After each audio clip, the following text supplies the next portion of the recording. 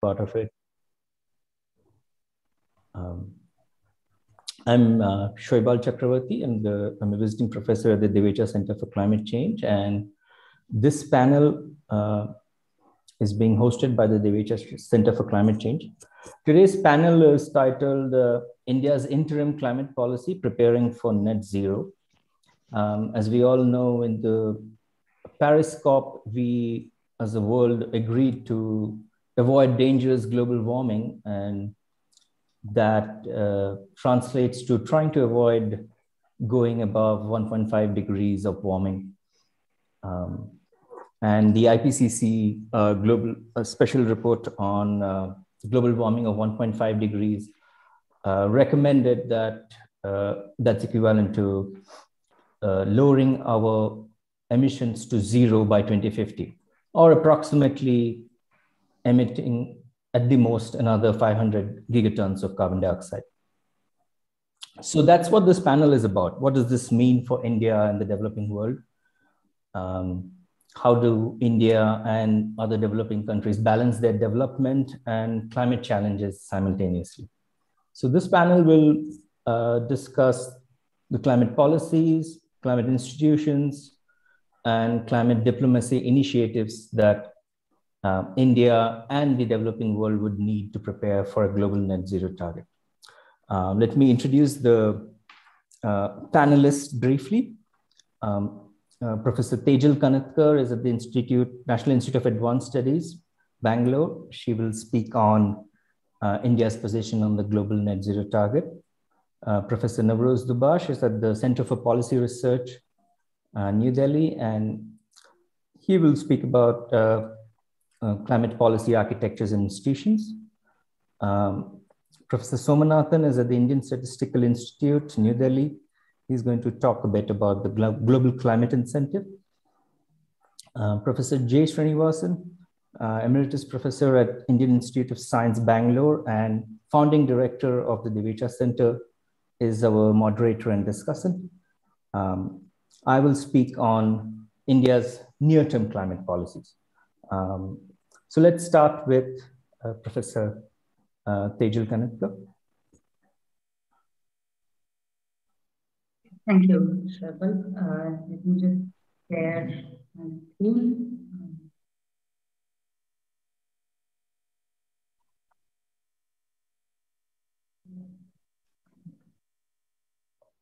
So, um, I mean, Shoibal introduced the entire concept of uh, net zero and uh, what it means. There seem to be a flurry of declarations on net zero that are coming in as we head towards uh, COP26.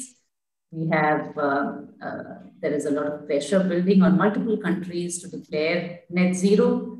What does this net zero target mean? I mean, it is going, uh, your, your net emissions should go to zero. That means that as much emissions, anthropogenic emissions as you emit uh, there must be methods that you uh, employ to actually absorb those emissions or reduce those many emissions from the atmosphere. Net zero implies. So there seems to be a lot of focus here. And uh, net zero does find a mention, net zero emissions targets do find a mention in the Paris Agreement as well. But they are uh, uh, supposed to be it's supposed to be a global net zero target. It is not meant to apply to individual countries that same form. Um, so what does it mean? And what does the IPCC report say? So the IPCC report doesn't actually say that you can either reach net zero by 2050 or limit emissions to 500 gigatons of carbon dioxide. What the IPCC report very clearly says is that while net zero is a condition, a, precondition, a, a requirement, not a precondition, a requirement uh, to limit temperature rise to any uh, limit. So you might want to limit temperature rise from pre-industrial levels to 5 degrees Celsius. And you would still have to go to net zero at some point of time. But the key determinant of this temperature rise is the amount of cumulative emissions implied by how you get from where you are today, where the world is today, to net zero. And so it is this global carbon budget that is really the determinant, the key determinant And so when the world reaches net zero is essentially flexible as long as the cumulative emissions implied by that trajectory of reaching net zero uh, is limited within a specified carbon budget. And uh, Shoaib mentioned 500 gigatons of carbon dioxide. That is equivalent, that is, that is the remaining carbon budget, what is remaining from 2020 onwards till the world reaches net zero to limit temperature rise to below 1.5 degrees Celsius with a 50% probability as per the latest IPCC report. And so what I mean by this flexibility is this.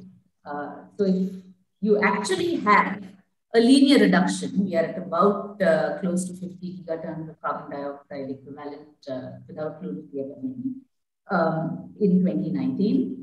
If we start reducing the world as a whole, what I mean by we here is the world as a whole, starts reducing emissions and goes rapidly to zero, net zero emissions by 2050, then there are certain, the area under this particular uh, curve is the total cumulative emissions. And what we will end up emitting is about 730 gigatons of carbon dioxide. Give or take, some of this uh, might be absorbed by UCF uh, land use and land use change and forestry emissions. However, let's assume that we have 730 gigatons of carbon dioxide. This corresponds to about uh, two-thirds probability of exceeding 1.5 degrees Celsius.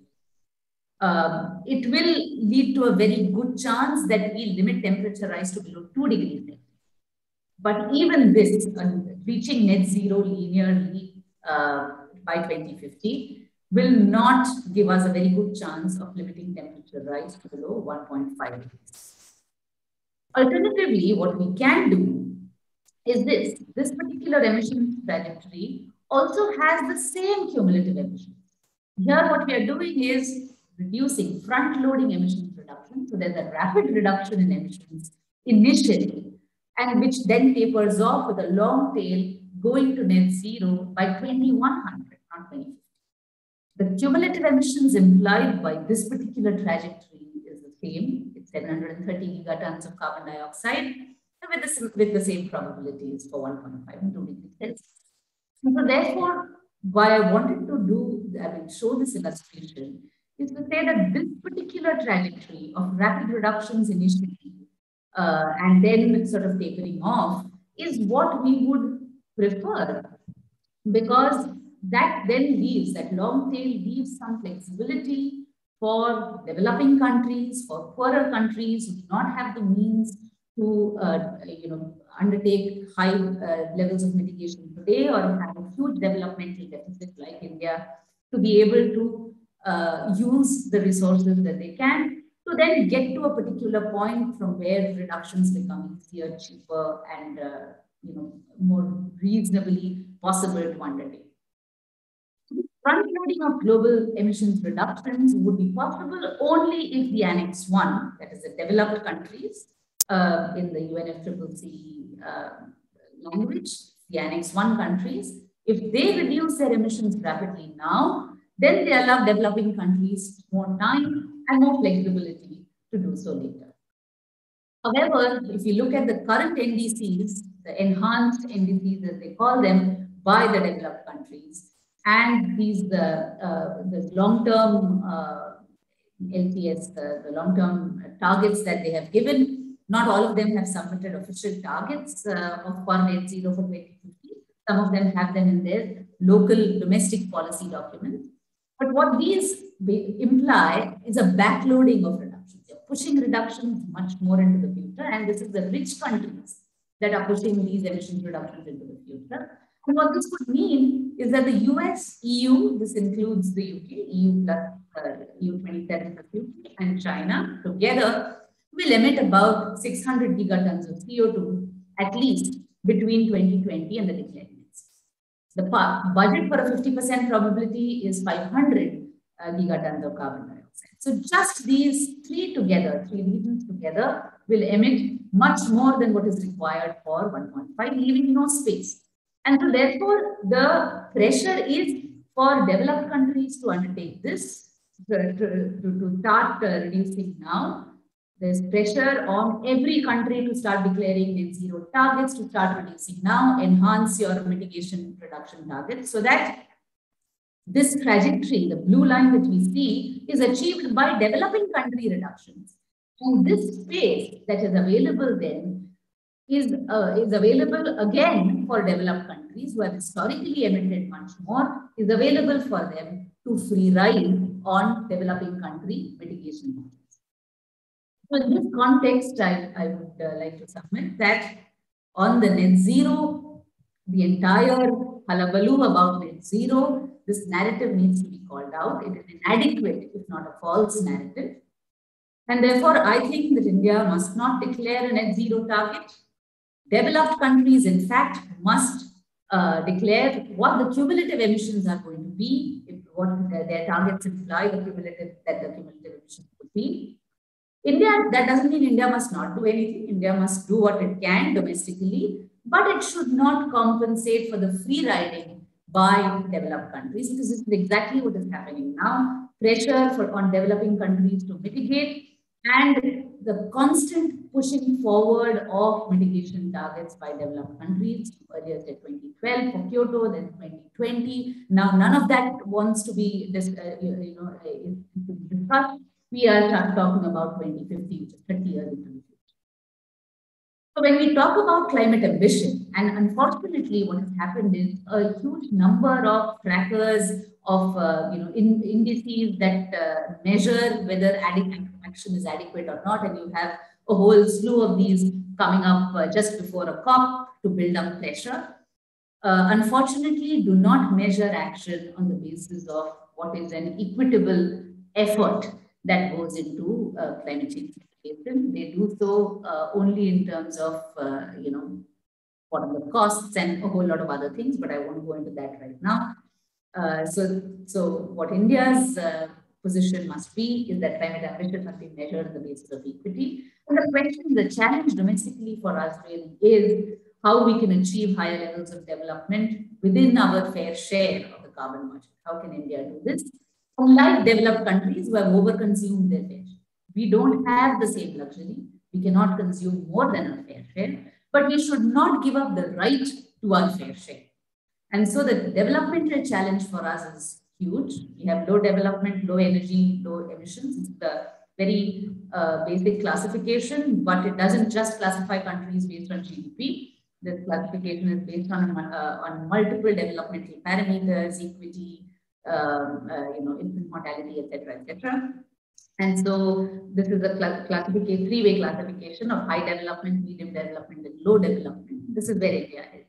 If you look at per capita energy use, there is a significant difference across the uh, We might not want to go to, to, to 338, the levels of the US.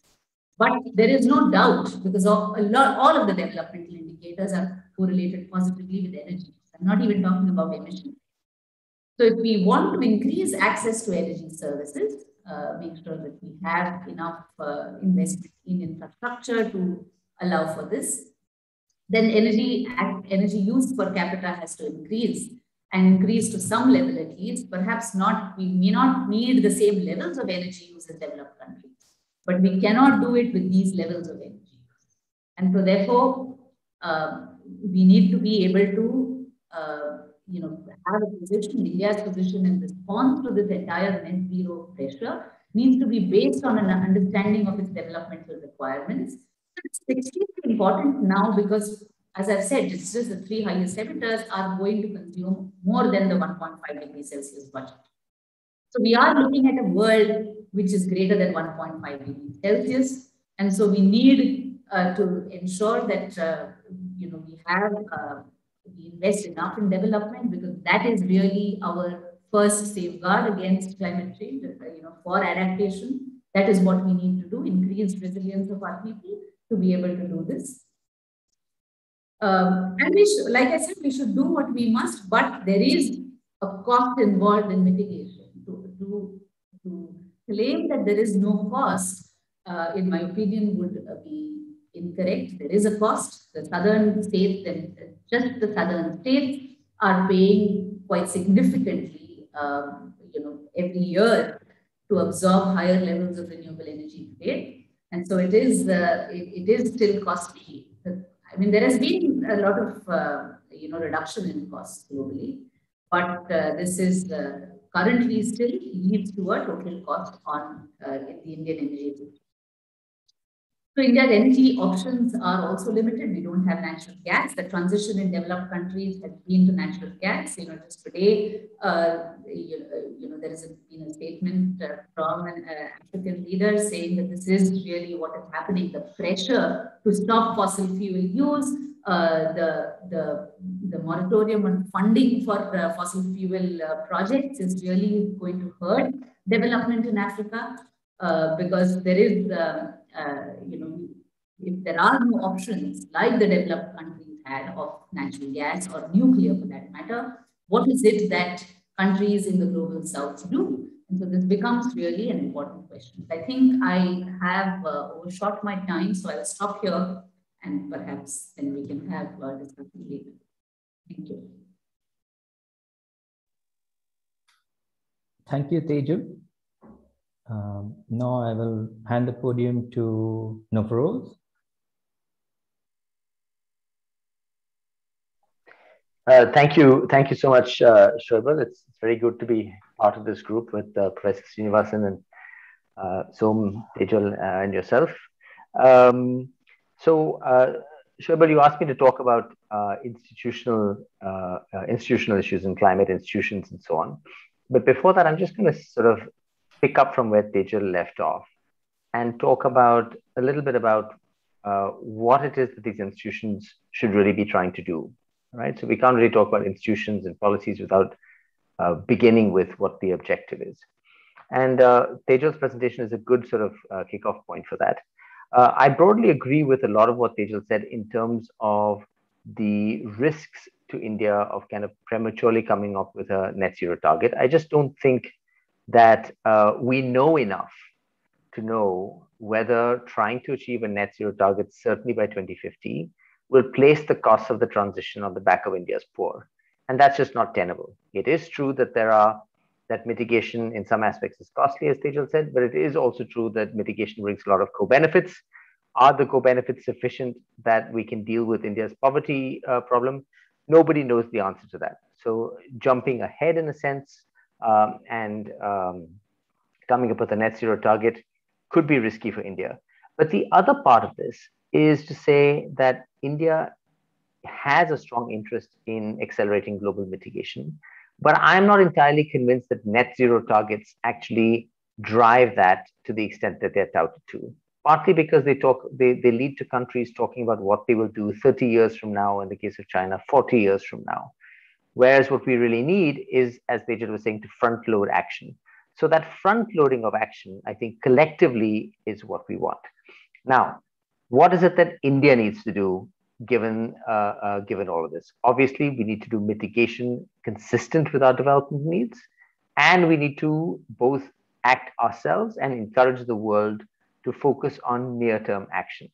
And in a country like India that is still growing rapidly, GDP is growing, we're going through a demographic transition, an urbanization transition, we have the possibility of avoiding locking into high carbon infrastructure, high carbon behavioral uh, uh, decisions, and so on, right? So we, so the more we do upfront, in fact, the, uh, uh, uh the, the, the, the potential exists at least for us to be more competitive uh, in the global economy because we will be actually uh, um, putting in place technologies and infrastructures uh, that uh, uh, that are now being uh, developed and being and, and where industrialized countries are actually replacing their infrastructures to go down this road. So it's renewable energy technologies, but also public transport systems and and so on and so forth.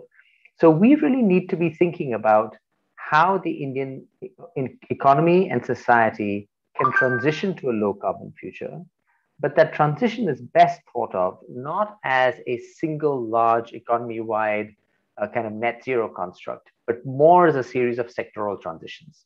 How do we decarbonize electricity? How do we make our urbanization process more sustainable? How do we make our freight system uh, uh, uh, uh more rail rather than road based, more low carbon? Um, how do we think about uh, industrialization in the future and job creation in ways that are at least primed for future technologies that might be low carbon. So we have to think about these sector by sector transitions, right? So now when I come to institutions, it's institutions and legal processes that allows India to bring together our development uh, imperatives with a vision of a low carbon future. Those are the kinds of institutions uh, that we need, right? So what do those look like? So I'm going to sort of spell it out in two or three ways. One is I think that it would be extremely useful at this stage for India to have a legal framework that lays the basis for this low carbon transition. And why is a legal framework important? Well, because too often, and the way in which our existing governance structures are set up, we are thinking about climate change as a subset of environmental issues.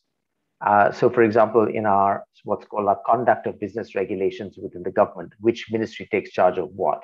Climate is embedded within environment. But we all know climate change is about urbanization. Uh, uh, it's about adaptation issues, so it takes you to agriculture. It's about decisions uh, about the coal future of this uh, economy. Um, it's it's about it's it basically covers it's an all of economy problem essentially, right?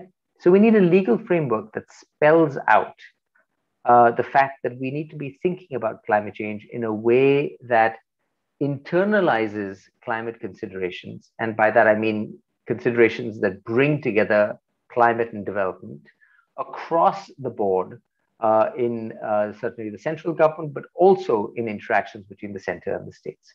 So a legal framework sends that signal. Now, when many people hear the word climate law, they think that must be, you know, some kind of net zero target, some quantitative target, followed by kind of a regulatory structure. But that's not necessarily the case. Many other countries, South Africa, uh, for a while, South Korea with its uh, Green Growth Act, Mexico, other countries had more facilitative legal frameworks that tried to mainstream climate change and induce ministries to think through the co benefits, the trade offs of bringing together mitigation and development. So that's the kind of legal construct we need.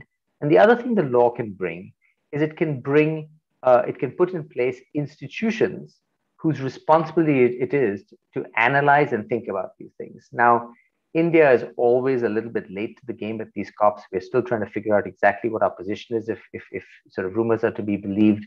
And in part, it's an institutional story. You can't place the burden of this only on the Ministry of Environment. It's a much bigger, uh, bigger sort of question.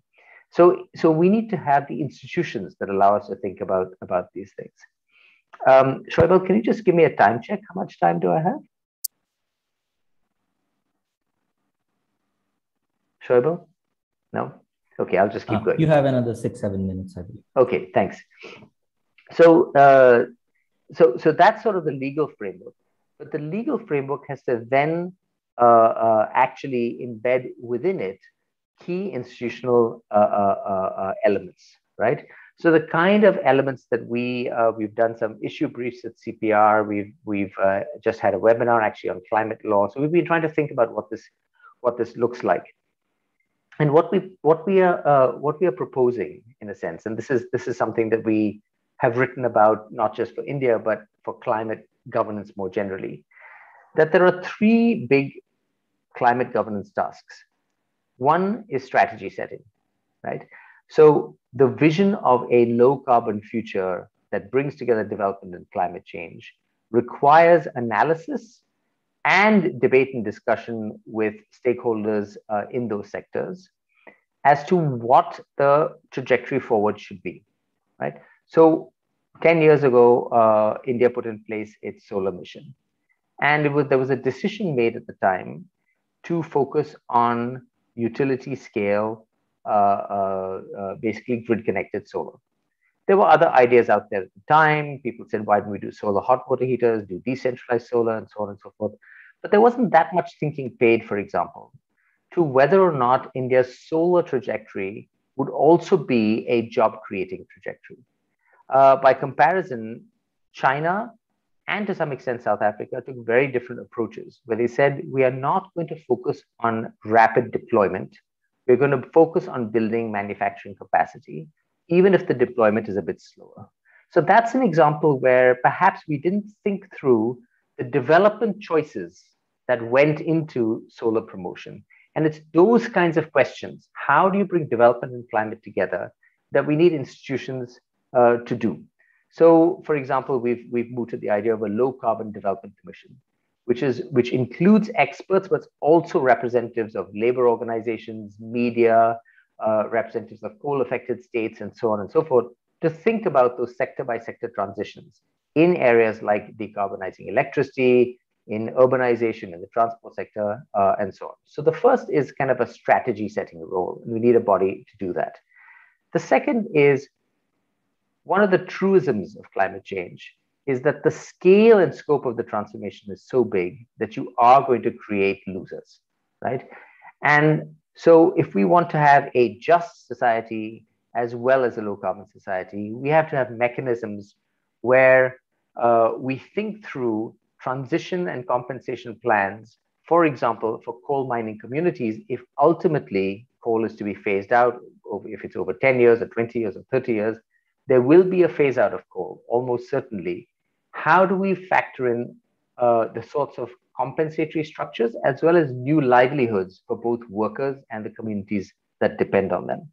So there is a deliberative and an engagement process that institutions have to uh, have to put in place. Uh, South Africa, for example, is a very nice presidential commission on climate change where they bring together affected stakeholders of all sorts and try and kind of hammer out what would happen. In Germany, they have a history of corporatism where labor and government and the private sector sit together and, is, in a sense, kind of bargain uh, it out. So we have to think about how we do this because we also want a fair transition, not just a low carbon one. Uh, the third piece of this is a coordination piece.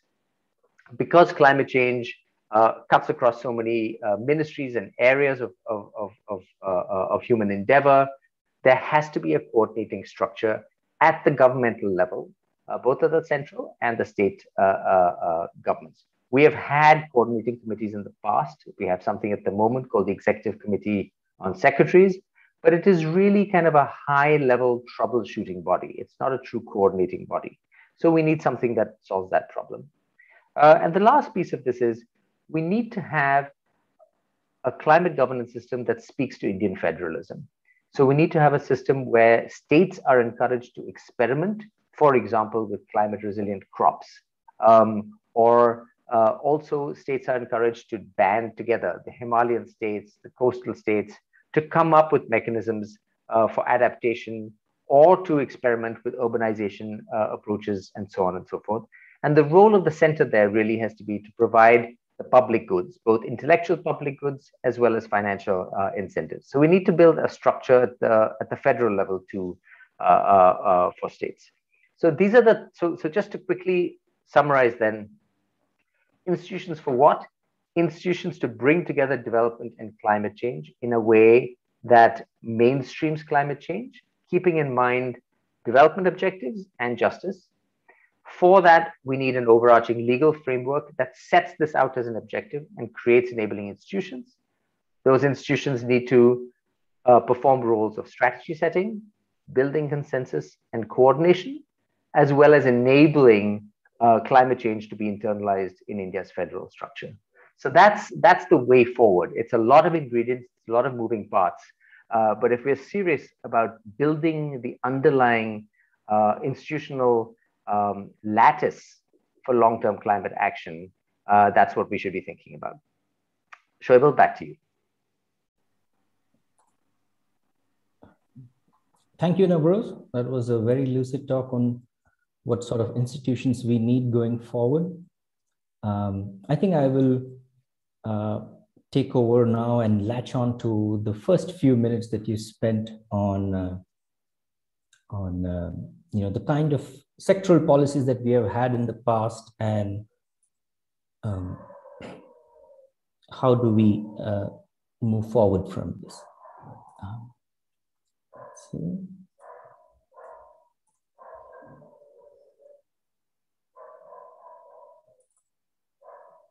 Yes. Uh, okay.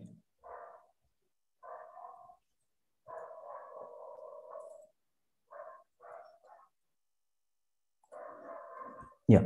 So I'm going to uh, limit myself to uh, what has worked in the past and what sort of policies uh, we should continue, uh, at least in the short term, the next 10, 15 years. Um, so by and large, this overlaps a little bit with what Navroz said, what has been India's approach to policy making and whether we can build a slightly more ambitious near-term climate policy based on what has worked so far. Um, so by and large, India's approach, as uh, pointed out, has been uh, one of uh, you know centralized policy making and often ad hoc and often um, sectoral. So, uh, and I would say that these uh, policies, by and large, can be divided into three types. Uh, one where you have national targets, policies, um, and so new mechanisms are introduced to sort of meet those targets, and these get some sort of policy support. Uh, this has been seen, for example, in the case of LED bulbs or solar PV. A second set of strategies are about uh, providing fiscal support uh, for certain technologies. Uh, it's often in the form of budgetary support or subsidies. Again, uh, a good example is solar PV and uh, transmission expansion for the sake of renewables. Uh, a third set of strategies have to be are about introducing introducing new regulations, new standards. Um, these have worked in the case of uh, appliance ratings, for example, um, efficiency standards for appliances, then vehicular fuel efficiency standards, emission standards, and so on. And these, I would say, have worked fairly well, and we need to build on these, but in a more coherent framework, as uh, as Navroz has pointed out. Um, so let me go sector by sector at, uh, and looking at what has worked and, and how to go beyond that. Uh, the first is, of course, electricity sector and coal. Uh, the power sector is responsible for almost half of India's emissions. Um, at the same time, the National Solar Mission and various, uh, you know, very ambitious targets for renewables expansion in the last decade or so have, I would say, dramatically changed uh, at least India's uh, power generating capacity. So right now we are almost at 40% of our generating capacity being non-fossil and it, about a fifth of India's electricity generation is coming from non-fossil sources. Um, and if our expansion plans proceed uh, and are successful, then we are likely to see approximately 50 to 60%, 55 to 65% of India's uh, electricity generating capacity is non-fossil in by 2030. And the share of clean generation uh, would more than double. Um, so the reason for this, of course, is uh, primarily the success of, uh, of the dramatic reduction in renewable, in the cost of renewable electricity both as a result of technological change as well as a result of uh, various policy decisions made at home. Um, so uh, this is based on, on a work of, uh, a recent work of mine. If we project um, cost of generation uh, in mid, mid decade in the 2024-25 range, uh, what we find is that cost of uh, renewables plus uh, four, four to eight hours of storage would actually be fairly close to a new fossil fuel plant, uh, a new coal plant, actually. So, effectively signaling that uh, it doesn't really make much sense to build a new coal plant going forward. And uh, in some sense, we are already seeing that there has been a, a, a large, significant slowdown in, in new coal capacity coming online in the last few years. The next uh, thing I would look at is carbon taxes. Now, this might be surprising for a significant number of people that India actually has significant carbon taxes, though they are often implicit more than explicit. Uh, our only explicit carbon tax is the clean energy cess on coal, which is about 400 rupees a ton or approximately three to four dollars a ton of uh, carbon dioxide. Uh, but when one tags along uh, transmission subsidies provided to renewables and uh, the fact that uh, rail freight of coal, coal is the biggest source of rail freight, and this actually cross subsidizes passenger traffic, then the implicit carbon tax is often significantly higher. Um, and this already shows, um, I think more than half of India's uh, coal is, has a running cost that is comparable to that of new renewables. Um, the second thing I would point out is uh, fuel tax, tax on diesel and petrol. Um, these actually are fairly high in India. Um, in fact, comparable to tax on transportation fuels in Europe.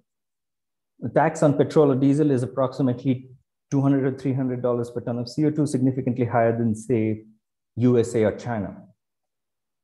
And again, one can see the impact of this uh, in the sales of uh, you know EVs, especially two and three wheeler EVs. Now, these taxes that I'm referring to, especially the fuel tax, is uh, significantly higher than what most models suggest is required for a decarbonization in the coming decades. Um, what does this mean for the entire economy as a whole? Uh, about 60% of India's emissions were already taxed in 2018. Uh, and they have paid a tax of at least four to five dollars a ton. Uh, if you look at transportation fuels, about 11, 12% of India's emissions, these were taxed at a significantly higher rate, uh, approximately 200, 300 dollars per ton of fuel.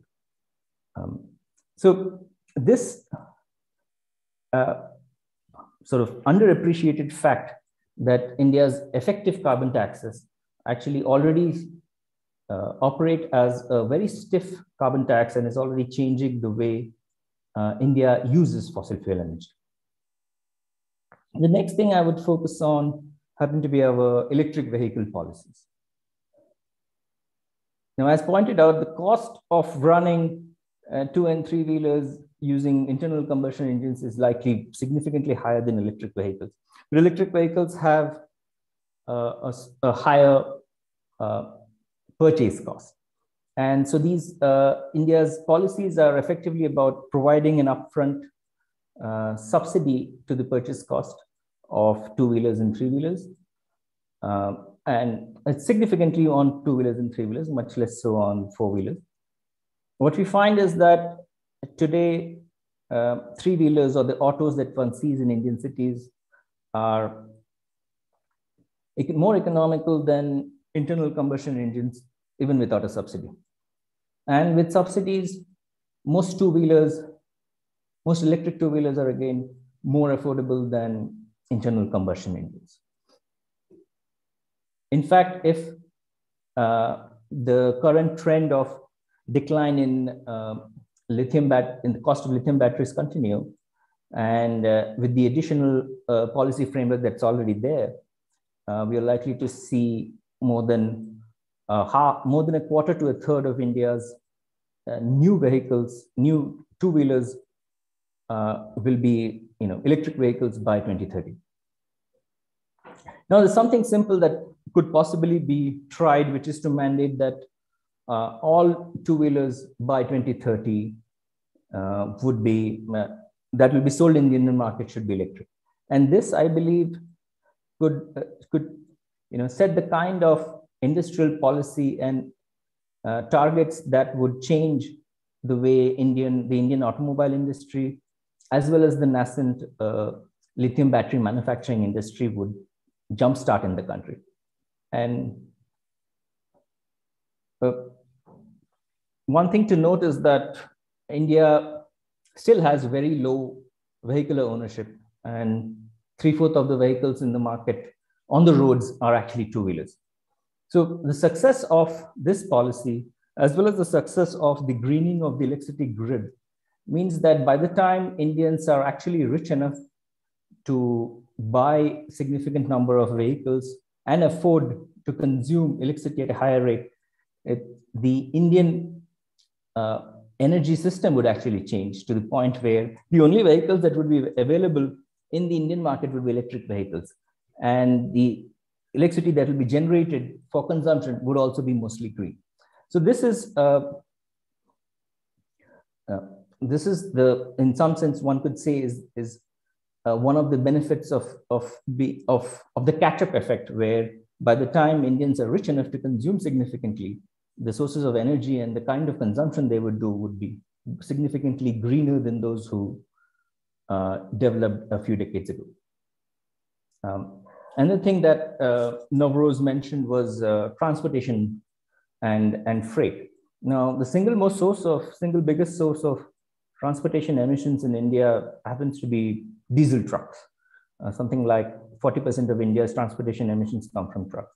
And if, if we manage to move a significant part of this freight back to rail, then we can significantly reduce uh, emissions, cumulative emissions in the next coming decades. Uh, and we are moving in this direction. The entire railway network in India has been electrified, will be electrified in, in a couple of years. And we are building uh, dedicated freight corridors where freight can travel at significantly higher speeds and need not share uh, need not share a rail network with passenger rail. I think in, in a decade or so, uh, India's freight transportation would be significantly greener and would possibly save tens of gigatons of carbon dioxide emissions in the coming years. Um, the other major source of increasing emissions in India happens to be residential electricity consumption. In fact, it is the fastest growing category of electricity consumption in the country. Um, and improving appliance efficiency uh, via regulatory policies happens to be the fastest and the most efficient way of controlling additional emissions that are going to come from this category of emissions, from this category of consumption. In fact, as um, India warms and gets richer, the demand for space cooling in the form of air conditioning and cooling will uh, grow exponentially. Um, in fact, the IEA projects that uh, in a few decades, India's space cooling needs would be comparable to today's uh, entire electricity generation. And so uh, improving efficiency in this category of appliances will make a significant difference to India's energy consumption.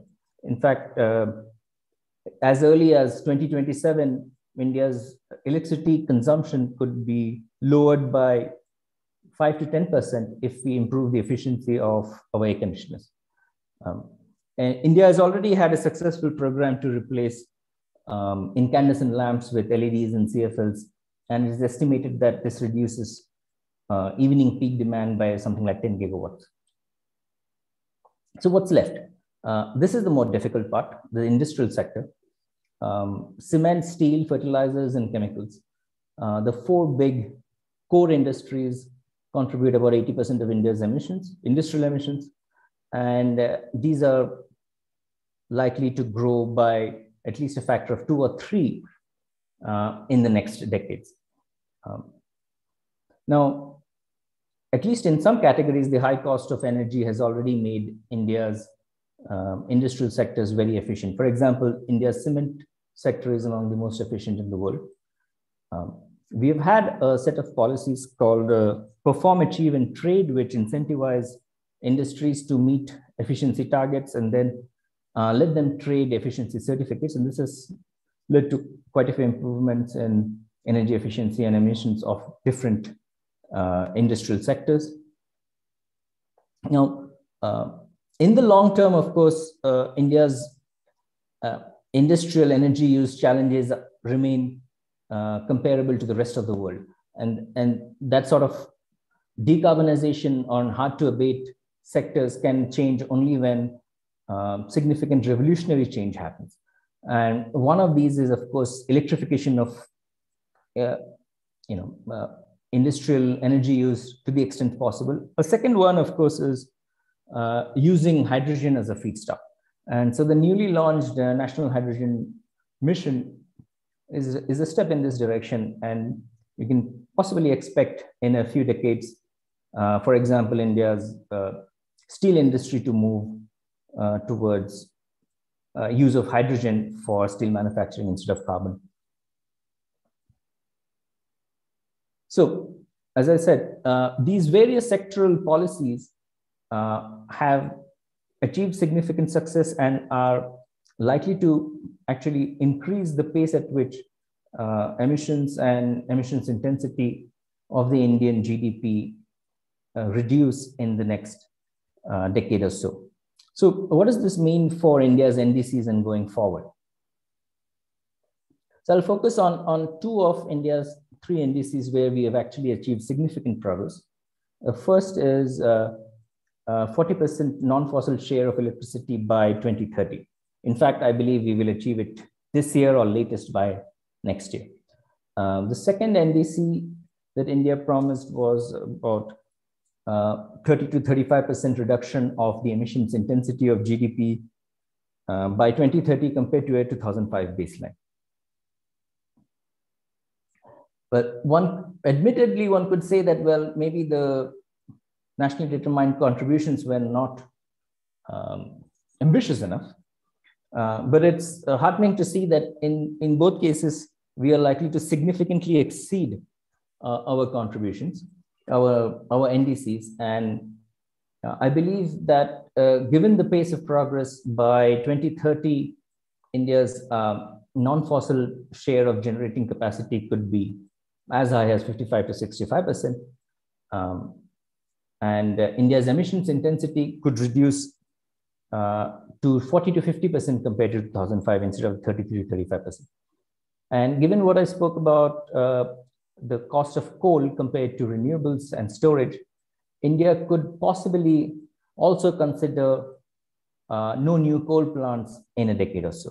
So these are the kind of ambitious and updated nationally determined contributions that India could uh, possibly consider this year or next year. So uh, I'll conclude by saying that uh, the sectoral and co-benefits led development centric approach, uh, this is a phrase from one of Navroz's papers, in fact, um, has been fairly successful and is very likely to continue. Um, and given the progress that we have made, uh, I think India's NDCs could be significantly more ambitious uh, going forward. Navroz has already covered that we we need a, a coherent climate institutional framework. And I believe this is uh, this, this software of, of policy making is what India would likely focus on uh, in this decade.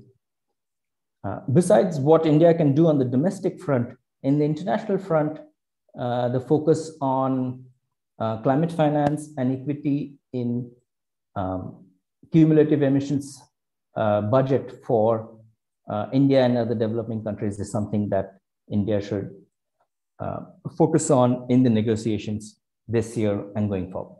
Thank you.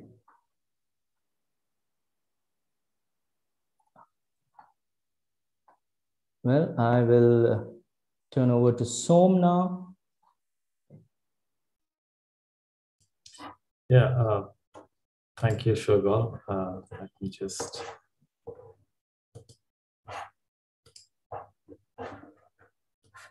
Uh, I have a few slides which I'd like to share with the audience. Um, so um, basically what I would like to just quickly talk about is about uh, two issues, which is uh, effectiveness and equity in, uh, internet, in an international climate agreement. Um,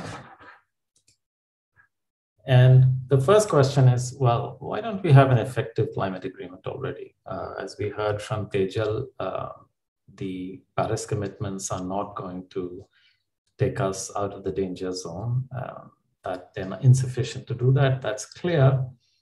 And in particular, the high emitting uh, developed countries plus China are going to, uh, you know, emit enough that the 1.5 degree target will be um, unattainable.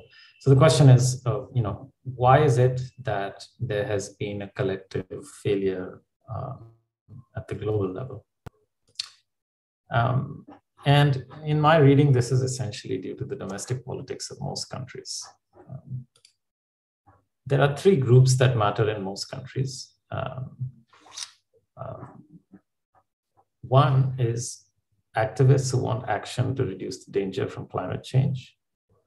Uh, two, fossil fuel owners and employees who want to protect their profits or jobs. And three, the general public that does not pay much attention to climate change. Uh, so the role that these three groups play roughly is the activists try to stir up the public and make the public aware of the danger of climate change. Fossil fuel owners try to prevent the public from paying attention to the problem by, uh, you know, uh, you know, intervening in the political process and in the in the media and so on. Uh, and the public, as I said, uh, so far has in most countries has not paid too much attention. They, most people have lots of things to worry about. And the effect is that fossil fuel owners have so far successfully prevented the public from getting really worried in most countries, with the result that their governments have taken only baby steps to deal with climate change. Now, I, I, think this is going to change in this decade itself, right? In the decade of the 2020s, because as we've already seen accelerating impacts of climate change, and these impacts are becoming more and more obvious. They're not no longer things that you have to tease out with statistical sophisticated, uh, you know, sophisticated statistical analysis. They're things that are sort of visible to the naked eye and becoming more and more obvious, uh, more and more extreme events and so on. And the second, uh, you know, trend that is happening is that the value of fossil fuel assets has already started to decline, uh, particularly in coal, uh, but that's also uh, even true in petroleum to some extent already right? Um, and of course, this is because the market is anticipating, uh, financial markets are anticipating uh, transition. So when the public in, you know, in many countries gets really worried, then their governments will be pushed to take strong action. And that strong action will, of course, include not only domestic actions in each country, but an, uh, an effective international agreement so I want to say a little bit about effectiveness and equity. Right. When governments are ready to take strong action, and I believe this is not very far in the future, I think it's likely to happen to a greater and greater degree in the 2020s itself. Okay, but maybe a little, might take a little longer, although I doubt it. Um, when governments are ready to take strong action, how should an international agreement be structured so that it pro both provides governments with incentives to act and also is equitable. And the you know one question that arises naturally is is our effectiveness and equity in conflict? Is there trade-off between the two? So for an international climate agreement to be effective, it must provide incentives to all country governments to reduce their emissions quickly, faster than they would do otherwise, and eventually also to reduce the carbon stock in the atmosphere. I think it's pretty clear now that given the trajectory that the world is on now, uh, we're going to, by the time emissions reach zero, or, you know, in a few decades' time, uh, the concentration of carbon dioxide in the atmosphere would have risen to very dangerous levels, and there's going to be a need to pull carbon dioxide out of the atmosphere. Uh, so those are the two things that, of course, would are needed for an uh, agreement to be effective. You know, emissions have to be reduced faster, and uh, when eventually they get to zero, then the stock is going to have to be reduced. So there has to be carbon dioxide removal. And this effectiveness necessitates a future-oriented perspective. And the reason is that we can't change the past, but we do need to motivate actors to change the future so that we have a better future. Now let's turn, that's about effectiveness. Let me turn to notions of equity. And there are, of course, different notions of equity, right? It's not a, it's not a unidimensional concept. So one of the relevant notions of equity in the climate context is the polluter pays principle. And that basically just says that those who have caused harm should pay for it rather than shifting the burden to others of cleaning up the uh, cleaning up the pollution. If we apply this in the climate context, it implies that countries should be responsible for reducing their own emissions because their own emissions are admissions, uh, additions to the stock, and it's the stock that causes the harm of carbon dioxide in the atmosphere. And countries should pay for reductions to the stock in proportion to their contributions to it. So when we get to the point of pulling carbon dioxide out of the atmosphere, who's going to, that's going to be an expensive process. Who's going to pay for that? How should that, how should those costs be shared? Right. And equity says, well, if you apply the polluter pays principle, then those costs should be shared in proportion to the contributions to the stock. So that implies there is a potential conflict between equity and effectiveness since contributions to the stock that cause harm have happened in the past, right? We already have a history. And in that history, uh, some countries have contributed much more. The developed countries that industrialized earliest have contributed much more to the stock than countries that haven't, didn't industrialize early or haven't yet industrialized to a great degree. So there are other notions of equity, right? For example, uh, a very important and common notion is based on the idea that those with the greater ability to pay should pay more, right? And that's the principle under, underlying progressive income taxation, which is common uh, everywhere in the world. Okay, so these are two notions I want to, of equity that I want to mention here. So how can we incorporate both effectiveness and equity in an agreement? So my proposal is the following, that countries that have low per capita emissions should unite behind a proposal with two components. First component is a scheme that has been proposed by Raghuram Rajan recently, uh, what he calls a global carbon incentive for emissions. Right? And the second component, um, Shoibal suggested the name GCI plus, you know, to add the second component. I think that carbon dioxide removal when it occurs at scale should be prepared should be paid for in proportion to countries total contributions to the stock. Okay so two components one to do with emissions reductions the second to do with carbon dioxide removal. Okay first let me talk about the gci for emission reduction. What is it exactly? What's the proposal? Proposal is that countries above the global average of per capita emissions pay into a global fund an amount that is proportional to the difference between their per capita emissions and the global average per capita emissions. So that's for countries above the global average. And countries below the global average of per capita emissions will receive payments from this fund in proportion to the difference between the global average per capita emissions and their own per capita emissions. Right. So you can see essentially that whether you are a net, whether you're paying into the fund or you're receiving payments to the fund, uh, either way, the governments of those countries have an incentive to reduce emissions because that will reduce, if you're above the average, that will reduce the payments you have to make. And if you're below the average, it'll increase the payments that you receive, right? So it provides direct incentives for governments to act if it's implemented. The other thing that uh, is uh, just an arithmetic consequence is that it's a budget balance thing. So the amount that gets paid in by to the fund is the amount, exactly the amount that gets paid out.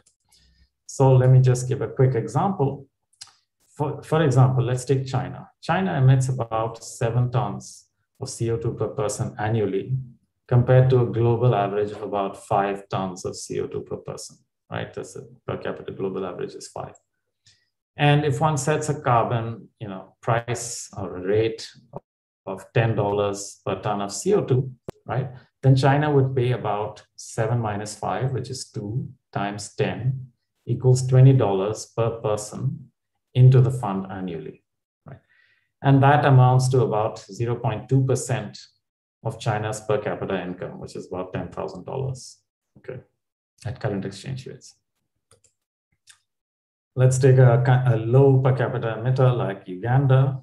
Okay, Uganda has per capita emissions of 0.13 tons of CO2 per person and would receive about 5 minus 0.13, right, which is almost 5, right, into 10, which is $48.7 per person annually. Okay. Uh, or about that amounts to about 6% of Uganda's per capita income of $817 per person. Okay.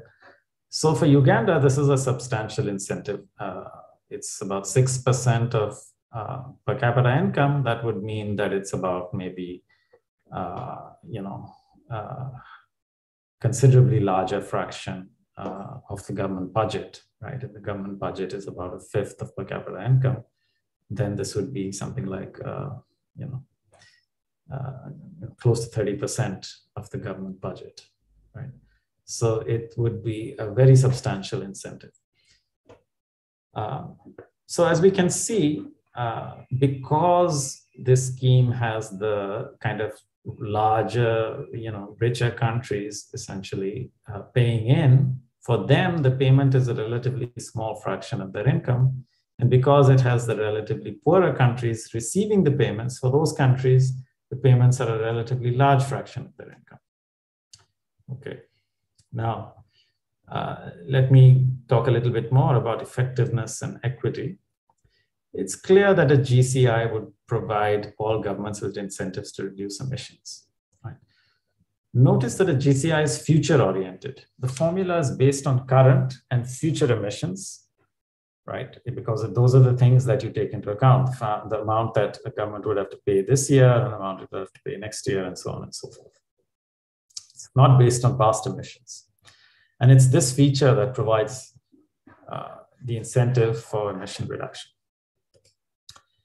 However, it also promotes equity because current emissions are highly, although not perfectly correlated with past contributions to the stock, there is a link to the polluter's pay polluter pays principle, although it has to be said that this is not a perfect link. For example, if you take the example of the US and China, uh, with their current per capita incomes and current per capita emissions, the US would end up paying into the fund uh, about the same proportion, you know, not very different proportion of its GDP as China would, right? And in some sense, that's unfair because the US's historical contribution uh, to the carbon stock in the atmosphere and therefore to the damages that are being uh, inflicted on the whole world are larger than China's contribution. So it doesn't line up well that well with the polluter pays principle, right? There is some correlation with it, but of course it's not a perfect lineup because it's based on current emissions and not on the past stock, right? And the and the, this is in a sense basically the equity efficiency trade-off. Because to provide incentives you have to make payments you know taxes transfers contingent on what people uh, and governments are going to do because you want them to change the behavior in the future.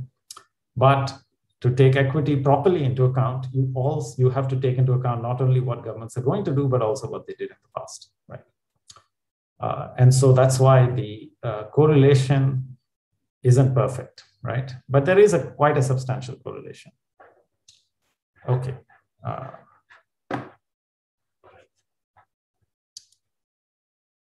second point is that per capita emissions are also highly correlated with per capita incomes in our world, right? If the, the richer people are, the more energy they tend to consume, therefore the more carbon dioxide they tend to emit. And uh, that's a fairly uh,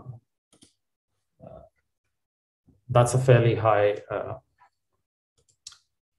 uh, fairly high correlation. Okay. Okay. So the effect is of such a GCI would be that richer countries whose past emissions have done most of the damage from climate change would be make, making most of the transfers to poorer countries who are suffering more of the damage and have the, done the least to contribute to the problem. And so it, there is a good, uh, you know, there's a good measure of equity in, in, in that scheme. Okay. Now the question is, why would high per capita emission countries join an agreement with the GCI, even after their domestic politics had changed enough to impart urgency to uh, solving the climate problem? And the answer is, well, perhaps they wouldn't. If there were an alternative that would persuade low emission countries to reduce their emissions, right? One such alternative that we can already see developed countries thinking about is trade sanctions. And if large, relatively rich emitters got together, that might be a possibility. But, and it would be, of course, deeply unfair, right? Uh, it would also be less likely, however, to provide sufficient incentives for low emission countries to reverse emissions growth, right? You know, because the truth of the matter is that sticks don't work very well in these kinds of situations. You really need the carrots because you need, you know, uh, poorer countries to have the capacity and the financial resources to be able to get the job done, right? So it would perhaps be self-defeating on the part of the rich countries uh, to be too hard-nosed about this. And that's a good reason for low emission countries to stand united in proposing a GCI, because if they were to be united, then it would be very difficult for rich countries uh, to, you know, to try and achieve the same result without making, uh, providing financial assistance. Uh, you know, some modifications to the scheme could be negotiated. I don't want to go into that uh, since we're running out of time. The second component of my proposal is to agree to cost sharing and carbon dioxide removal in proportion to the contribution of each country to the carbon stock in the atmosphere. And that's also important both for equity and for effectiveness, right? It's obviously important for equity because it's based on, you know, how much the polluter paid, uh, you know, how much the polluter emitted is proportional to how much they would pay. But it's also important to give every country an additional incentive to avoid adding to the stock of CO2 in the meantime.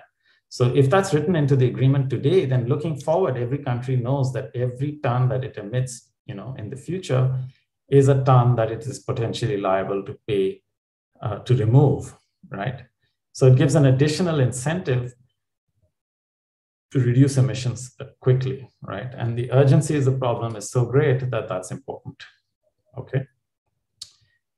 Uh, so this is my last uh, last thing I wanted to say, when governments do get serious, when domestic politics in various countries permits, then it will be possible to negotiate an agreement in which all countries agree to take much stronger action, provided that all other countries do the same, right? Conditional agreement rather than the voluntary one we have now. Uh, but in order to get this to work and to get most countries on board, it's really going to help to have some clear and transparent principles, right? That first, give every country a clear incentive to reduce emissions, and second, are seen to be generally fair, right? And so I think it's important that low emission countries should get together now and should prepare for such an agreement by agreeing uh, among themselves on this GCI plus or something similar, right? But that conversation, I think, should get started uh, without delay. I'll stop there. Um, thank you, Som. And I think uh, we are ready to open for a discussion. Would any of the panelists want to ask any questions?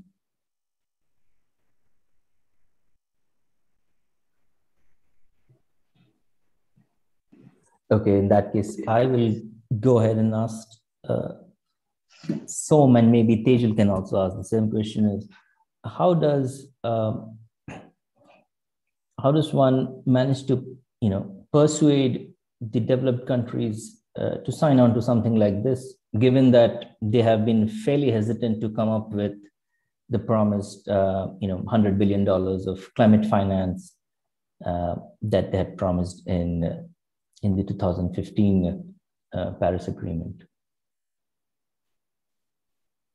uh, well, um, I think that that's a good question. I mean, um, in, in the current situation, I don't think there's much hope uh, that uh, developed countries uh, and China would uh, would jump aboard uh, such a thing, um, because I really don't think that in most countries politics have reached the stage of urgency yet.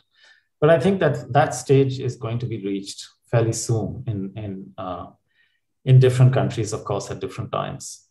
Um, and when that happens, then countries are going to get much more serious about emission reduction domestically. And also, they will be looking around to make sure that other countries are doing the same. And uh, so I think that the level of seriousness is one big thing. The second thing is that with this uh, GCI scheme, right, the payments are automatically tied to emission reductions in some sense. I mean, not directly, but they give, there's a clear and strong incentive uh, as you can see with the Ugandan example, you know, even with fairly a small carbon tax rate, uh, you get a large sum of money uh, in a proportionate sense uh, for countries. So countries will have a strong incentive to build out, when they're building out their new infrastructure, they'll have a strong incentive to make it carbon free, right? And so that from the perspective of the developed countries, uh, that is going to be much more attractive for them than, you know, just ad hoc uh, grants and loans and all kinds of things which can go into, uh, you know, any old thing. So I think that that transparency is uh, the second reason. But I think the most important thing is going to be, are the lower income, low emission countries going to present a united front or not? Because if they don't present a united front, then I very much fear that when the developed countries feel the urgency to really get cracking, uh, then they will be highly tempted to use sticks rather than carrots. That, of course, will be counterproductive uh, and will be a bad outcome for everyone. So I hope that you know the, the developing countries, especially lower middle income and low income countries, will get uh, their act together and um, and present a united front. Thank you. So uh, I, I'd like to turn over to uh, Professor J. Srinivasan for his comments on, uh, on the panel so far. Uh, can you hear me? Yeah. Yeah. So uh, let me just share a screen. I'll say a few things. let me just.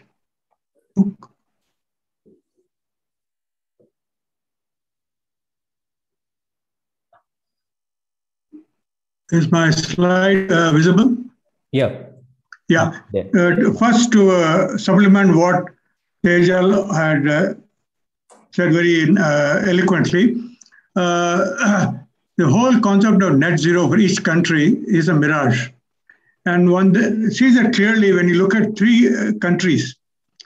Saudi Arabia has pledged 2060 as a target for net zero, but has no plans to reduce export of oil and gas. Same thing true of Norway, considered to be a, a, role model by many European countries. Uh, it is climate neutral by 2030, but is issuing oil and gas exploration permits both in North Sea and the Arctic. Okay, so so the contradictions are amazing. And just today, Australia pledged net zero by 2050 with no plans to reduce coal exports. And the global media wants to know when India will announce net zero. To me, India is being uh, uh, uh honest in admitting we cannot announce net zero at present because the situation that countries around net zero are not really taking seriously and they're continuing various actions which will increase CO2. So I think this issue has to be raised in COP26 in various ways so that this net zero mirage is removed because this is the way in which many countries are trying to escape their responsibility. Now, this is quite clearly seen in the UNEP uh, uh IPCC report recently. Shows that already between what is uh, uh, promised under, uh, uh, under the various countries' NDCs and what is required, there's a huge gap. This is what they call the production gap.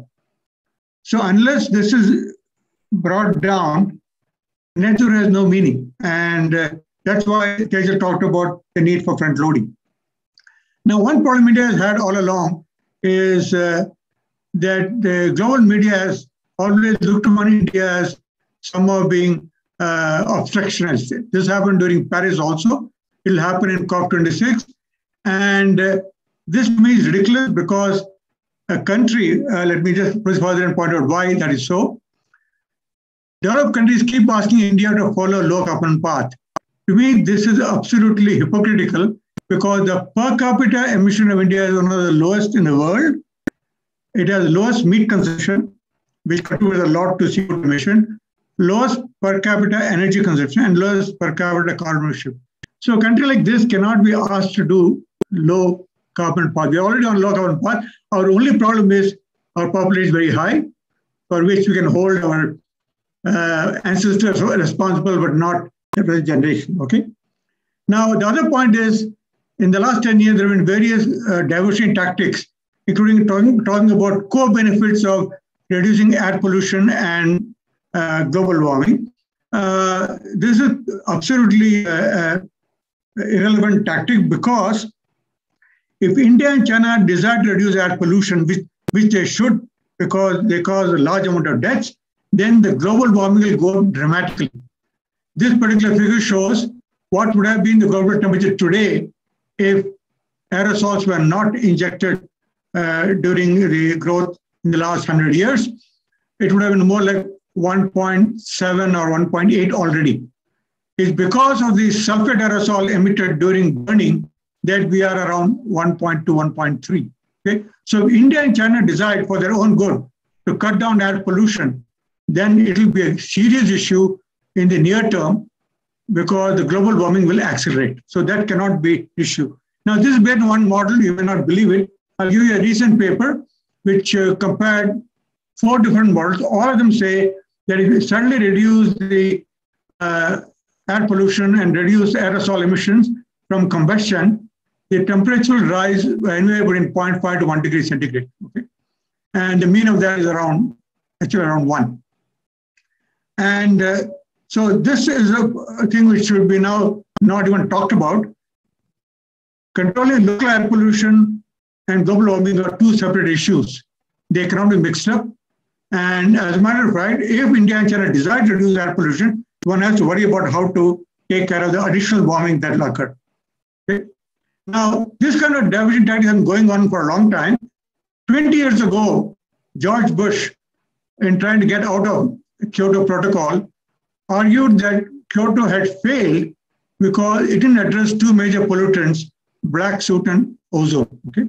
which was complete red herring. It is not at all uh, a, a, true uh, reason. Now, the other thing has been discussed already by Somnath and as well as Shoibal. The fact is that whatever was agreed in the Paris uh, Agreement by European Union to uh, fund $100 billion per year has not been achieved. Okay. And so we'll have to see whether in COP26 anything new will come up. But without that, I don't see why developing country will bother to take part in any attempt to control the CO2 emission. Now, Somnath pointed out how uh, one could change many of these things. And the example is Montreal Protocol. Montreal Protocol is a wonderful example of how if the developed world shows leadership, then we all can do something very similar to uh, Montreal Protocol. There also they developed the world in developed uh, the world into two parts, developed and developing. Development were given more time to reduce the ozone ozone depleting substances, while the developed reduce it rapidly. So that leadership is lacking today. And ironically, that leadership is provided by uh, reader uh, Ronald Reagan, who was not an environmentalist.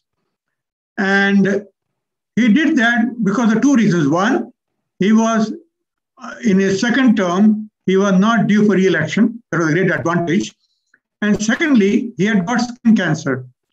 And when his uh, advisors pointed out that ozone depletion caused skin cancer, it had a personal uh, uh, reaction he had. He felt something had to be done.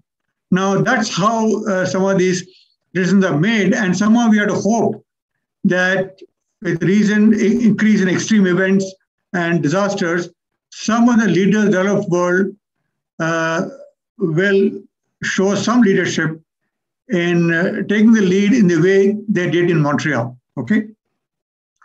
And I think the, this quote, quote from the book by Naomi Klein is very clear.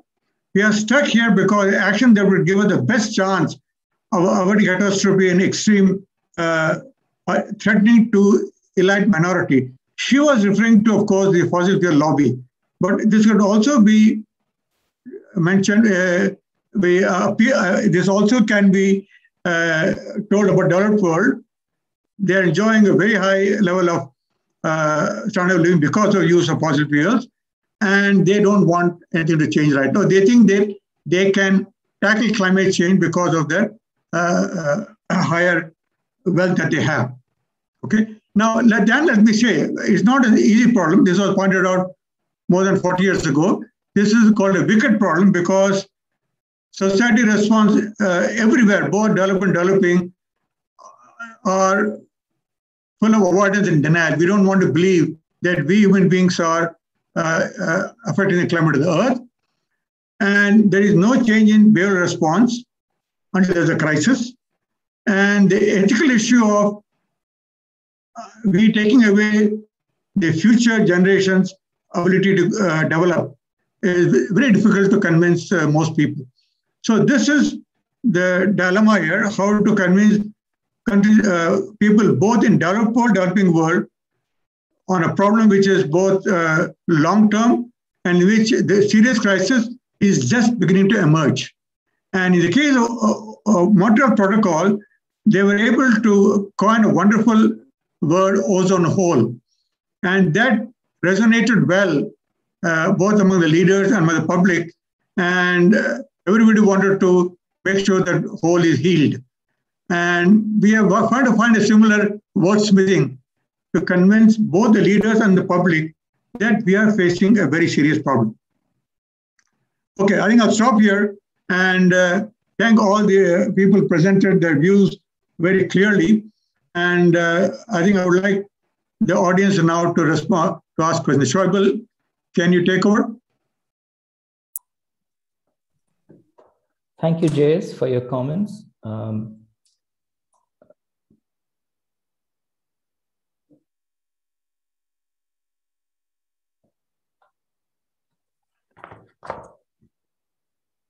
Yes.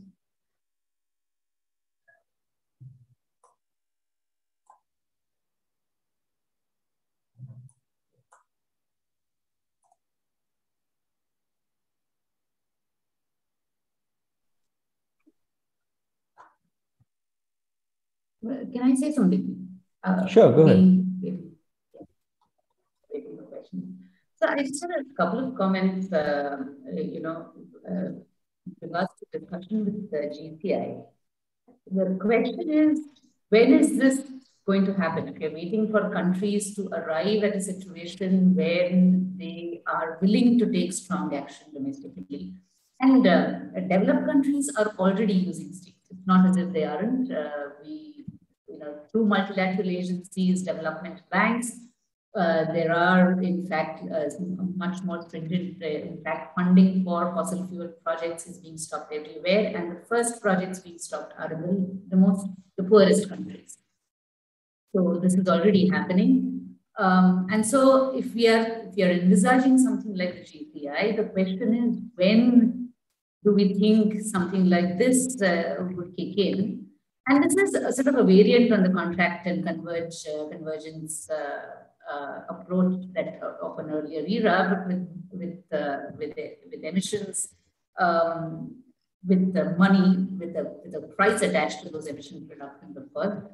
But how does it fit in with this with the science as we know today in terms of what does it mean for the total stock of emissions that this would result in whenever we arrive at a convergence when those who are paying in and those who get paid in fact converge at a point what would the total emissions be at that point of time? How do we sort of ensure that this trajectory is going to zero is not very clear uh, with, with, with this kind of an approach. And so perhaps um, some discussion on that uh, is necessary. Uh, I, I think uh, just one more uh, thing to uh, Shoibal on, uh, and even Navroz uh, really, because we are, we are talking about enhancing ambition and what in, in what way should India, can India perhaps enhance the ambition? One of the things uh, that would, in my opinion, result in is, of course, if you commit to do more today, four years from now, when you're actually supposed to, required to commit more, there's going to be demands for even more. And uh, what this means, however, is that we are promising away the fair share of a carbon budget as a gift to developed countries of free riding on, uh, on the global commons. We are validating their appropriation of the global commons. So while it is possible for India, perhaps with what now called stated policy scenario, so you already have policies that will lead to enhanced more action than we have planned for now. Then we, if we do that without saying, however, that what we free up as space is not going to be available for developed countries. It will be available for us for the future if in case we need it, if things uh, don't go as planned, for example, batteries, battery costs don't reduce as uh, rapidly as we think, or uh, the grid doesn't react as uh, we anticipate to higher amount of renewable energy, you know, say make in India actually happens and, uh, uh, you know, we have much higher growth in industry, what are we going to do in such situations where those trajectories are dynamically different? So to be able to protect our interests for the future, even as we do what we can do uh, in terms of uh, what is reasonably affordable for us. So I just wanted to flag those two questions. Thank you.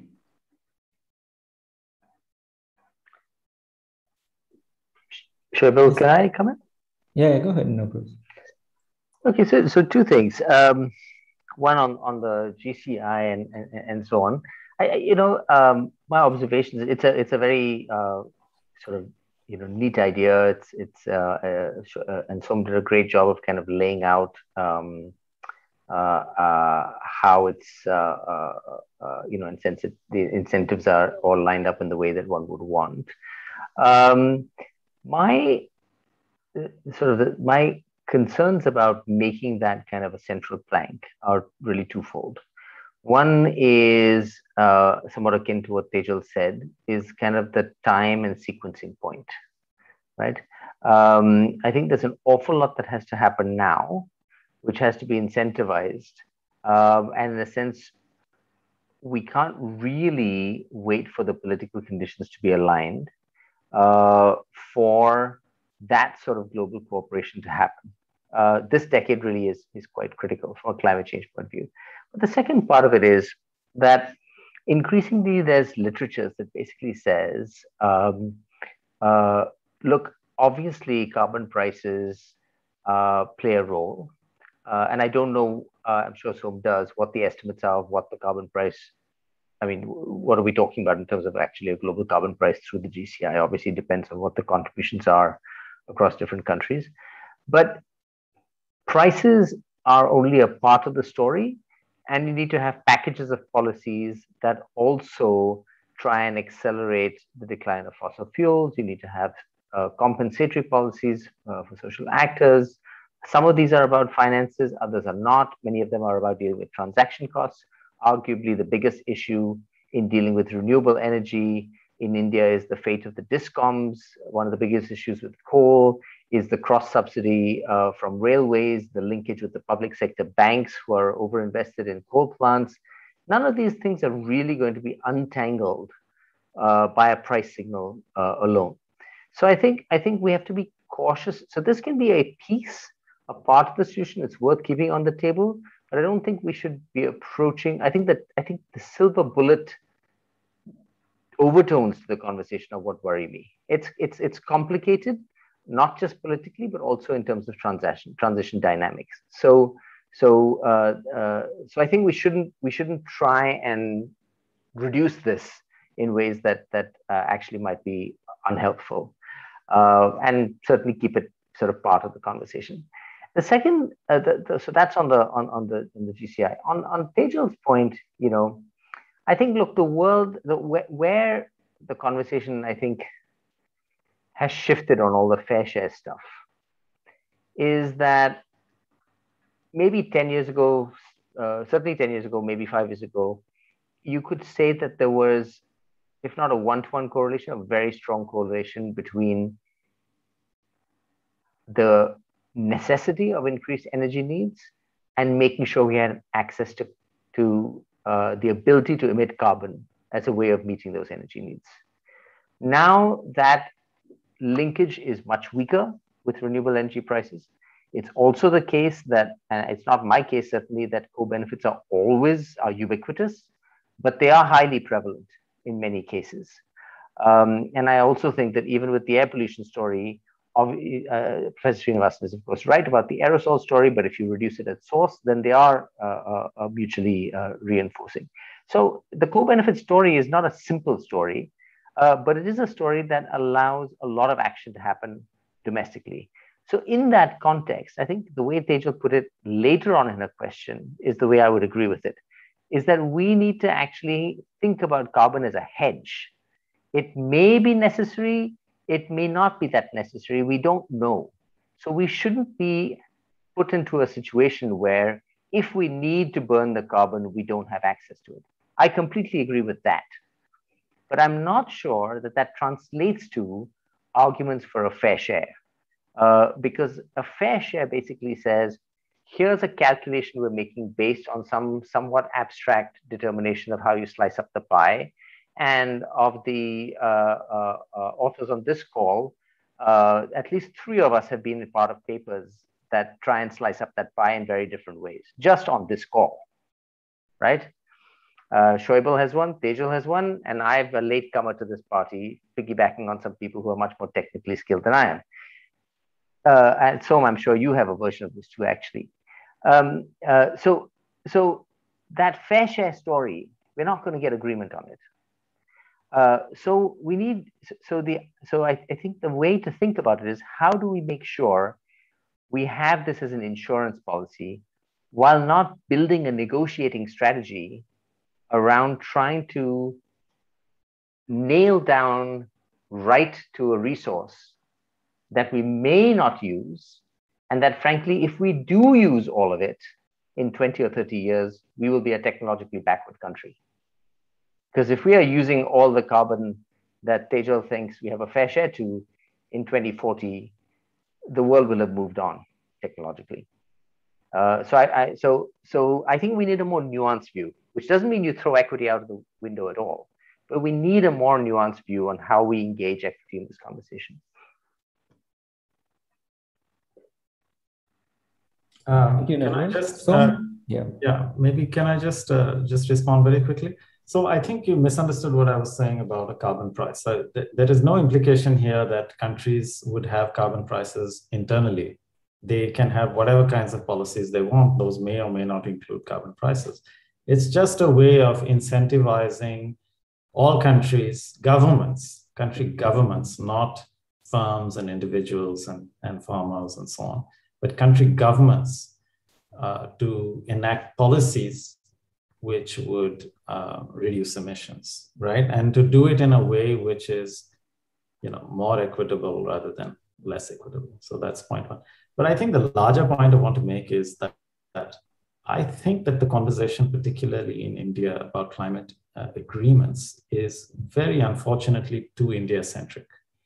I think that India is going to make no headway and is going to be completely outmaneuvered in, in international climate negotiations unless it has a large set of allies. But in order to get a large set of allies, you have to have some kind of organizing principle which will appeal to a large set of allies, right? If all your arguments are kind of very ad hoc in nature, right, then they are, you're just not going to get them. Secondly, they have to be not only appeal to an organizing principle which will get a lot of allies, but all at the end of the day, right? People have to believe that this is going to ultimately end, result in an agreement. It's not just going to be, you know, a position that goes nowhere.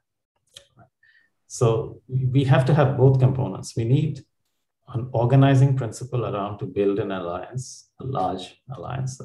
Otherwise, we're going to, you know, we are not in a strong position. Let's be clear about that. Uh, we're in a very weak position because we're very vulnerable and we really can't do much about it on our own.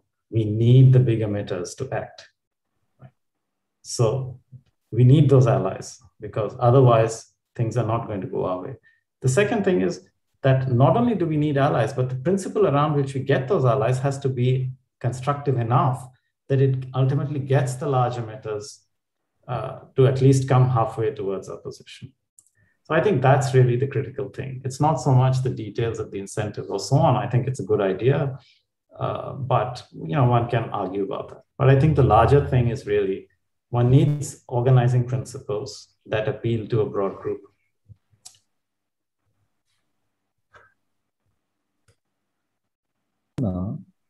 Which is has uh, has the cost of uh, has the carbon tax on petrol and diesel, or just the high cost of petrol and diesel, deterred its consumption? Um, and do we know that? Well, actually, that's difficult to say. I think the point I was trying to make was that the high cost of petrol and diesel makes uh, EVs, especially two wheeler and three wheeler EVs, uh, much more attractive. So, and I think it advances uh, their intake by quite a few years. Uh, I think, uh, and that's, I believe, is, is the uh, sort of incidental impact of, of the high cost of petrol and diesel. And I think this also, in some sense, uh, partly answers uh, the question that uh, Tejal had, uh, which is uh, should India make more commitments? Well, it, it just boils down to this. If renewable energy is cheaper than fossil fuel energy, then we will definitely, just from the economical point of view, use more renewable energy. And that is, in some sense, what India is doing right now. Um, and so well, yes. Can, can, I come in on the costs? Because that this has been said uh, quite a few times. Renewable energy is cheaper than fossil fuel energy. if you're talking about gas, energy. Uh, coal, of course, uh, let's not get into uh, the unaccounted for costs of coal, but just the physical production cost of coal, that it's cheaper. But this estimate does not include balancing costs. It does not include grid integration costs, which are equivalent to variable costs of some coal plant. You know, the estimates of 2020 that they are equivalent. What about storage costs and, and how much do we expect uh, these to come uh, down over a period of time? This is in no way to say that, uh, you know, that costs of renewable energy are not reducing. And so therefore, it, it, we, we have reason to be much more optimistic about what renewable energy can do and the role that it can play in the future than we had 10 years ago and 15 years ago. There's no doubt about that. And then there is no, no doubt that this is going to play a larger role proportionately as we go.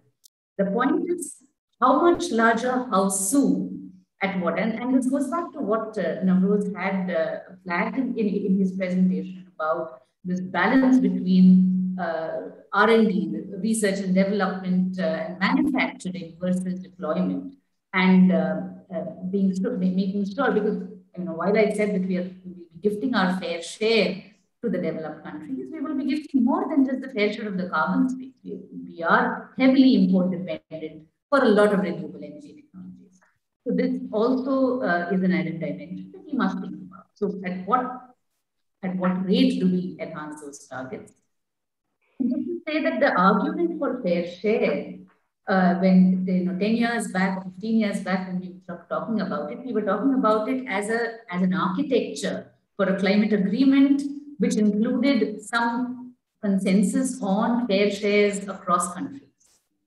Here we are talking about staking a claim, which uh, you know uh, South Africa has done already in its first NDC, it is uh, not the same India doing it because it's a big, much bigger number when you take a claim to your fair share.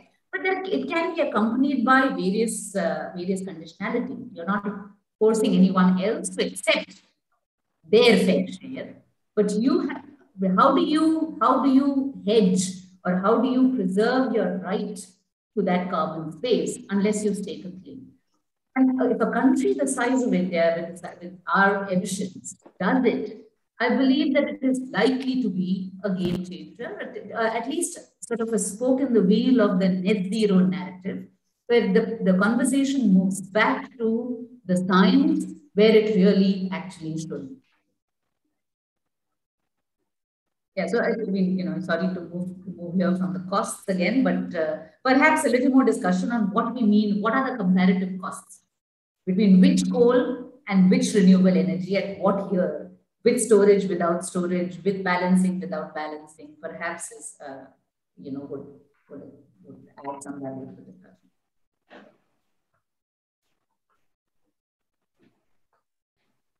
Um, I think the analysis that we did did account for all of these, and and despite that, it did come out that by the end of this decade, uh, it would be quite close. Yeah. Uh, can I add something? Sure. One thing about India, people have not discussed that wind energy in India is actually very poor. We have managed to have a large installed capacity, but wind is there only for four months a year during monsoon. Rest of the time is not there. This is not true of China, Europe, and America. They live in a different latitude. They have a huge advantage. And United Kingdom uh, has gone completely to wind because they have wind throughout the year. So India has a very serious problem is that our wind energy exploitation can only be during monsoon. And we have to depend mostly on solar, and solar is not there at night. Now, the demand for power does not go to zero at night uh, because of industries. So that issue uh, has to be tackled in a very big way because uh, imagine in a non-monsoon month during night when industries have to work, what kind of storage capacity we need? It's a huge one, right? And has anybody looked at that? What kind of capacity you need between uh, 8 p.m. and 6 a.m. Uh, when the wind is not contributing much, uh, except a little bit of hydro, I suppose. So this is India has a unique problem which should be highlighted. Uh, we are different from China and different from all the countries in mid latitudes. That's true. India will likely have the highest demand for storage if we turn towards renewables. Yeah. Well, uh, I think we have uh, far exceeded our time budget here. Um, I uh, would any of the panelists want to say something more? Um, any finishing remarks, Professor Jays? No, I think I have said enough. Uh, thank you all very much for this uh, wonderful conversation, and I hope uh, we can extract some some highlights on and, and some understanding on what India should do going forward. Um, it's a very tricky problem. It's a very wicked problem, as Jay said, and uh, I hope uh, this conversation helps us out. Thank you very much. Okay, I thank all the panelists for uh, giving a good presentation. Thank you, everyone. Thank, Thank you. Good night. Good night. Bye bye.